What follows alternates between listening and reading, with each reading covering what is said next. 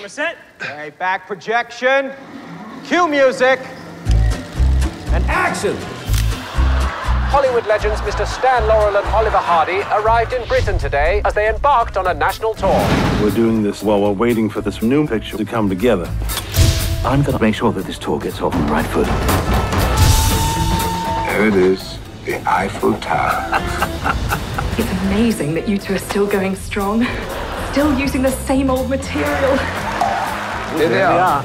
Such a wonderful reception, isn't it, Ida? It's okay. Two double acts for the price of one. Pretty empty last night.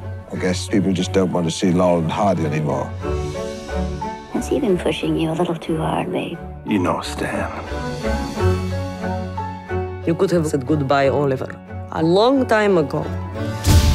We had a good thing going, but you had this big chip on your shoulder because I did a picture with someone else. I couldn't sleep for days when they told me what you did. You're just a lazy ass who got lucky because you met me. Lucky to spend my life with a man who hides behind his typewriter.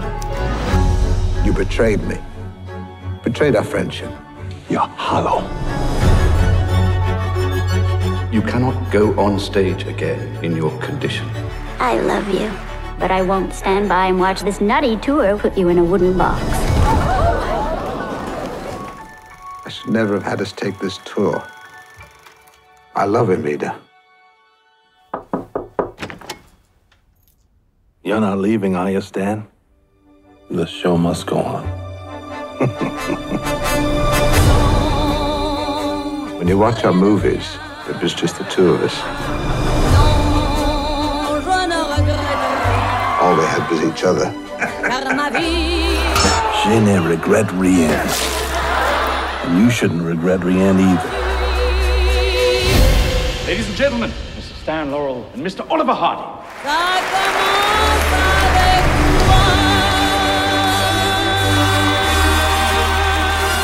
I'll miss us when we're gone. So will you.